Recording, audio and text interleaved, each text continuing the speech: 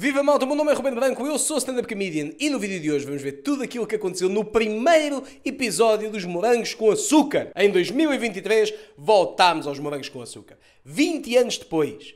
Passaram 20 anos desde que o Colégio da Barra abriu as portas. Muitas novidades nesta série, não só temos uma narração, como aparentemente o Colégio da Barra deixou de ser em Portugal e passou a ser nos Estados Unidos. Primeiro porque eles aparecem com uma festa tipicamente de colégio norte-americano. Eu nunca vi, mano, eu nunca vi uma festa que se passasse num ginásio numa escola e só falta mesmo terem daquelas taças gigantes onde a malta serve os copos com uma concha. Não se faz cá, mas como se faz nos filmes de adolescentes dos Estados Unidos, se calhar eles vão copiar essa ideia também.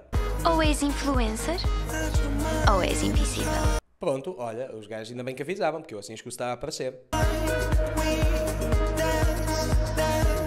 Eu não disse que eles iam encher o copo com uma concha. Isto não é nosso, cara. Se querem fazer uma festa de colégio em Portugal, não pode ser assim. É que nem sequer faz sentido tu usares uma concha para encher um copo. Mas estás a beber o quê? Malta, vou ali ao bar, que- uma caipirinha para ti, caldo verde. Nunca vou entender esta merda. Mas aquilo é uma festa com projeção e não sei o quê. E do nada, pau! Um story maldoso. Mas basta um story maldoso. Que story maldoso é este que pode destruir a vida de uma pessoa? É uma miúda a despir-se. Eu não quero ser o velho do restelo. Mas eu já vi o que é que algumas jovens de hoje em dia postam nas redes sociais. Este story não tem nada de mal. Só se for o facto da malta começar a dizer Ei, já viste a Carol? É, bué da roupa que ela usa. Ganda freira! Mas estes morangos com açúcar são muito diferentes. Logo mal aparece o logo dos morangos com açúcar. É uma vibe diferente, é uma vibe pesada. Ah, porque isto é para a nova geração. E a nova geração é assim, é intensa. Malta não está para se divertir, isto é intenso. Tanto que há um miúdo que aparece a fazer surf e ele está a trocar mensagens com alguém. Que é Surf Girl. Porquê é que nem sequer tem o nome? Não faz sentido. Ele vai fazer surf, então está a falar com a Surf Girl. Se ele fosse andar de skate, estava a falar com a Skate Girl. Se ele fosse um bar de alterno, estava a falar com a mãe do Hugo Soares. Não engano, Gão. Ah, Rubem, mas quem é que é o Hugo Soares? O Hugo Soares é um dos gajos que está comigo no meu espetáculo negro. Algumas datas já estão esgotadas, mas ainda há bilhetes disponíveis. Vai ao link que está na descrição. Vamos continuar com os morangos com açúcar. Entretanto, o gajo está lá a andar de surf e não sei o quê, e tu percebes que ele levou com uma prancha de surf. Ou pelo menos dá-te a entender que ele levou com uma prancha de surf na cabeça. Mas muda já de cena. Cena a seguir, está uma miúda na cama. E os putos, mais novos e irmãos mais novos, vão acordar. Oh, mana, temos fome, temos fome.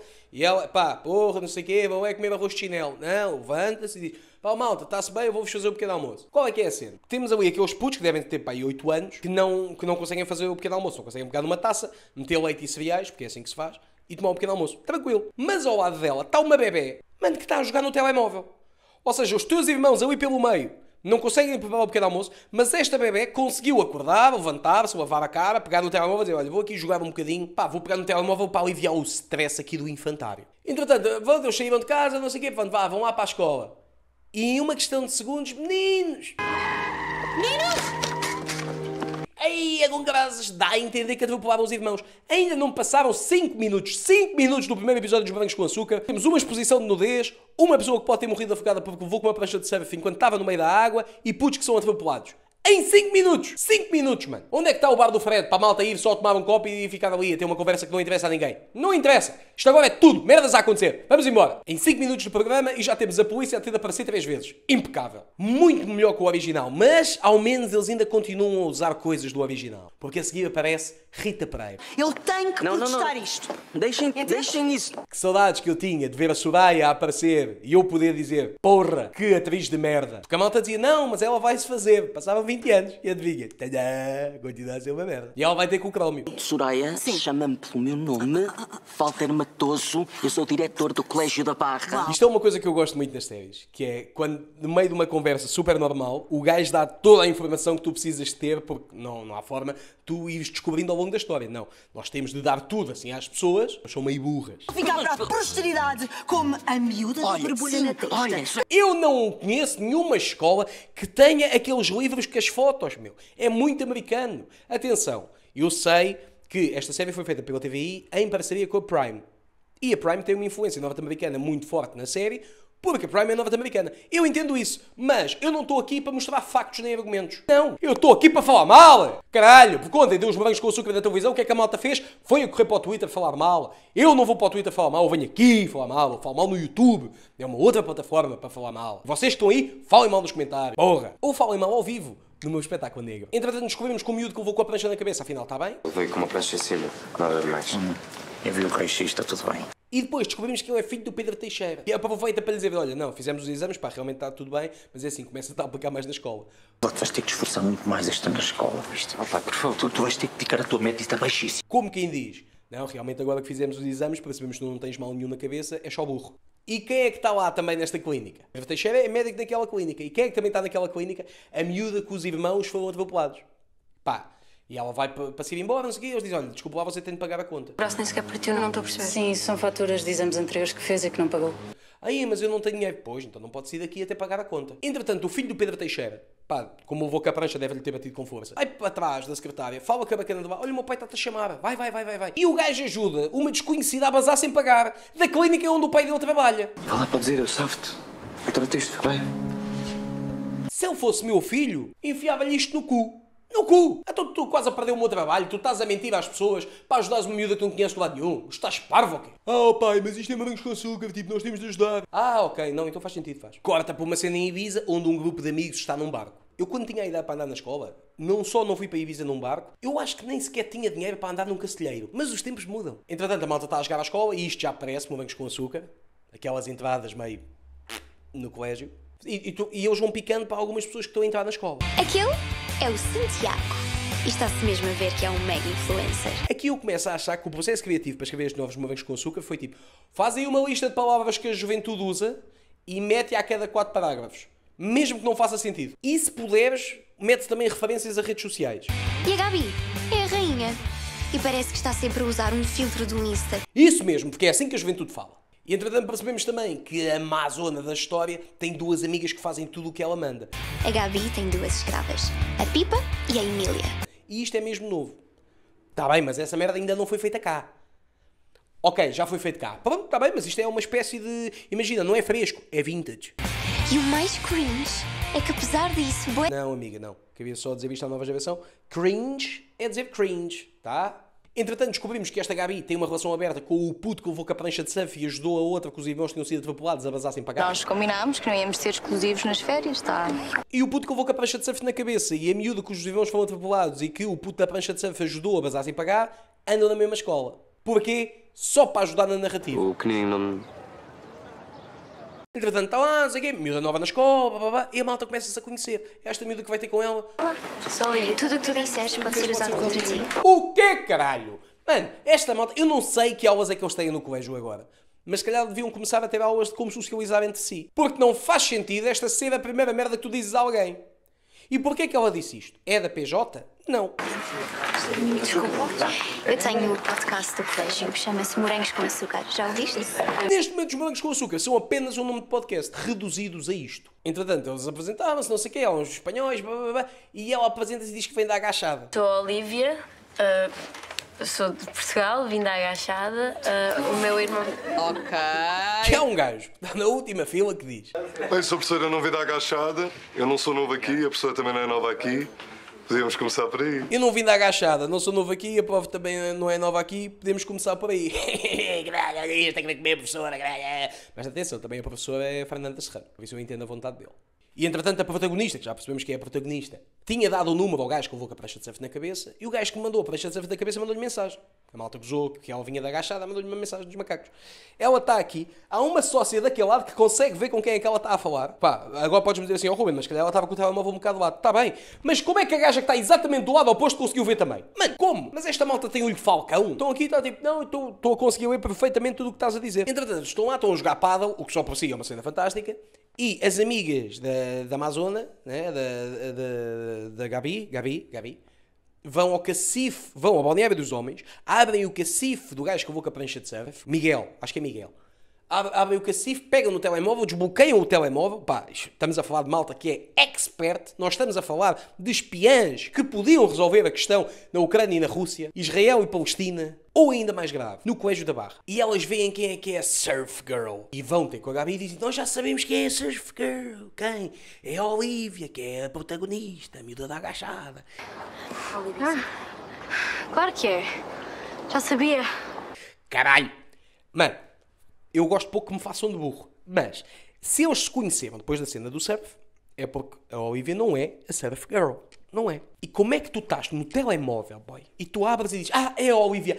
Como é que tu te enganas a ver? Porque de certeza, se ele falou com duas pessoas, estão lá duas putas de conversas, mano. Nem sequer faz sentido, meu. Nem sequer faz sentido. Ah, engana, enganaste como não sabes ler, puta! Não faz sentido esta merda. Mas a história continua. E a Gabi fica muito chateada. Ai, que ela anda a falar com a miúda nova, que afinal não é miúda nova porque eu já se conheciam antes. Caga como é que esta porcaria pode sequer fazer sentido. E aparece lá um rapazito que ela diz: Ah, olha, pá, faz-me um favor, pá, faz-te a gaja, come a gaja, leva a gaja para longe do meu namorado. É o que tu quiseres, desde que tires essa piolhosa de cima de mim, é o que tu quiseres chamar. E o gajo, claro, nem uma semana, pá, pelo amor de Deus, pá, eu, foda-se, estás a brincar, sabes quem é que eu sou, pá, vamos embora, sim senhora. Consegues? Menos de uma semana, então. Só que ele, antes de comer a miudita, para, ti, para tirar a miúda da equação entre a Gabi e o namorado, cruza-se com o namorado no balneário. A Gabi estava bem chateada contigo quando tens ido a Ibiza. E o que é que tens a ver com isso? Manda-lhe ali duas ou três postas de pescada, só, pá, que não dizem nada um ao outro, começam a porrada. Pá, sim senhora. Porquê? Porque foda-se, né? Começavam a porrada porque, ah, olha lá, a, a Gabi ficou chateada contigo. O que é que tens a ver com isso? Ah, filha da puta, filha da puta. Porquê? Pá, Foda-se. Eles estão a almoçar, não sei o quê, e vem lá a miudita do podcast. Ah, tu és filha da Martina não sei quê. É Sim, a Martina Moreno. Sim. Oh meu Deus, estás a gozar. Eu amo a tua mãe. Que é uma cantora espanhola, muito famosa. Ah, pois é. Ai, que giro. Não sabes quem é a cantora espanhola? Ai, esta é a cantora espanhola. Também tens pais famosos? Por acaso não. Mas o que é que eles fazem? Os meus pais faleceram há dois anos. Então os teus pais também são famosos? Não, são mortos. O que é que os teus pais fazem? Não, neste momento fazem adubo. Fazem adubo só. Entretanto, eles tinham de ir para uma sala, perguntam ao gajo, mano, onde é que é a sala? É lá em baixo. E eles vão lá para baixo, afinal não é lá em baixo. Porquê? Eles meteram o, o número da porta, eles abrem a porta, que afinal não é de uma sala de aula, é de uma dispensa. Quatro pessoas, quatro! Abrem a porta, ah, isto é uma dispensa, mas entram feitos burros, porque, porque eles não pararam. Ninguém olhou e disse, epá, mas porquê é que esta sala de aula tem esfragonas? Não interessa, não interessa. Eles entram só, e de repente ficam trancados lá dentro. Cá fora está a Gabi com o outro gajo. Ah, então e tu agora vais salvá-la para brilhares. Ya, ya, ya. Oh, vais salvá-la. Tudo bem. Olha, são fofos. Só que dentro da sala começa a haver fumo. Fumo! Começa a haver fumo. Que é para intensificar a cena. Como é que há fumo? Vai ser justificado mais à frente. Pá, e fica ainda melhor, porque eu nem sabia que dá. Mas quando o gajo entretanto vai lá para salvá-la, abre a porta. Ih, o que é que aconteceu? O que é que aconteceu? A bomba! O que aconteceu? No fundo não aconteceu nada, mano. É só um guião meio preguiçoso. Ao ponto de haver uma tentativa de homicídio com fumo. Nós até agora nem sabemos de onde é que isto vem. Como se fosse uma cena super normal no colégio. Não, pá, olha, eh, por acaso prendemos os gajos na arrecadação. Eles iam morrendo, mas está tudo, podemos ir para a escola. Trancaram o pessoal novo na arrecadação. Os otários! Outra vez? Ai, o cara, ai, afinal isto é normal. Afinal isto é mesmo normal de acontecer lá. Ai, pá, não, a gente aqui gosta de fechar pessoas em salas. Opa, vamos ir. E entretanto, nós descobrimos que o gajo que mandou aquela malta para a arrecadação é o irmão do Bonzinho, que são os dois filhos do Pedro Teixeira e desta sócia, que não é a Cláudia Vieira. Quem é? Não sei. Mas pronto, afinal foi fácil descobrir quem é que foi, só faltava calhar, tipo, olha, foste tu que os meteste na arrecadação, sim. E eles iam morrendo, sim. Pronto, olha, está aqui o agente da escola segura, você está. Entretanto, no dia a seguir, o gajo volta à escola e fica tipo, pá, os gajos iam morrendo lá na sala. E diz, pá, mas não me falaste de fumo nenhum. E o bacana diz-lhe. E tu na altura tu não me falaste em máquina de fumo nenhuma. Eu sei, também, eu sei. Não me lembrei disso à última hora. Lembrei-me à última da hora. Olha, lembrei-me assim. "Ia, pois, Espera aí, deixa-me ver aqui da mochila. Tenho, tenho aqui uma máquina de fumo, tenho, vou lá meter dentro. Lembrei-me à última da hora. Lembrei-me à última da hora. Tipo, mas, ei, espera aí, eu vou comprar uma máquina de fumo e depois volto. Foda-se. Foda-se. Eu estava a ver esta merda e eu estava. Nah. Nah. Mas a gente continua. Entretanto, o irmão do filho do Pedro Teixeira recebe um beijo da gaja que estava a ficar despida no story no início do episódio. Isto é importante para nota futura. E de repente já estamos na festa. Ou seja, aquilo começa numa festa e de repente nós recuamos no tempo e agora sim estamos na festa novamente e a gente, ah, ok, temos a ver. Lá atrás, a ser projetado, começam a passar umas imagens tipo vlog dos alunos das séries que nós vimos. Pá, que é uma cena super normal. Aliás, quando há festas na escola, mostram sempre imagens de alunos que estiveram lá 20 anos antes, que é uma cena que se faz muito normalmente. E, e depois eu consegui perceber uma cena que é, os, os dois irmãos, pá, o bonzinho é o loiro e não sei o quê, e o mauzinho tem cabelo preto, é muito mais sisudo. Pá, olha, muito fixe, pá, muito, por acaso, é discreto. É um apontamento muito discreto, gostei muito. E estamos lá e de repente, convosco, Desert! Os Disserte! E eu estou a imaginar, porque isto passa-se no secundário, né? Putos de 16 anos a ficarem contentes com os Desert. Eles nem eram vivos na altura, pá! Vocês têm de decidir. Isto é pós-novos ou não é pós-novos? Se é pós-novos, dá pós-novos. Se não é pós-novos, não dá pós-novos.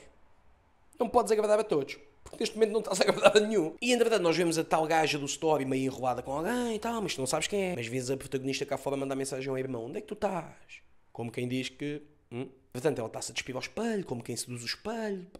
Isto sim é cringe. E agora sim temos o momento do início do episódio. Ela vê o story, ai meu Deus, vai-se embora, aparece a chorar na praia, ai que a minha vida é uma merda. E de repente a miúda do podcast diz: Nós descobrimos quem fez o vídeo da Carol. Nós descobrimos quem é que fez o vídeo da Carol. O culpado foi o Duarte. O culpado foi o Duarte. Quem é o Duarte? O filho deprimido do Pedro Teixeira. Se nós acreditamos, não, porque aparentemente o Duarte estava na festa. Tanto que eu até disse que ele estava ao lado do irmão. Como é que ele estava enrolado com a miúda? Não era eu. O mistério. E como é que o episódio acaba? Sentaram toda a gente no ginásio e disseram: pá, o pai da Carolina ligou. Ela desapareceu de casa. E acaba assim o episódio. Pá. Tentativas de homicídio. Pessoas desaparecidas. Acusação de exposição pública. Estes são os novos morangos com açúcar. Se isto é para adolescentes, duvido muito. Mas estes são os novos morangos com açúcar, já estão todos disponíveis na Prime, por isso tu tens Prime, podes ver todos os episódios, os 10 episódios que vão existir. Caso não tenhas Prime, todas as semanas vais ter um episódio novo de Morangos com Açúcar. Por isso, digam aí se vocês querem resumos do Morangos com Açúcar aqui no canal. E eu agora vou à minha vida. Antes que alguém poste um story meu, eu despiro-me, tá? Então vá, malta. Mal logo. Mal logo, malta. Mal logo.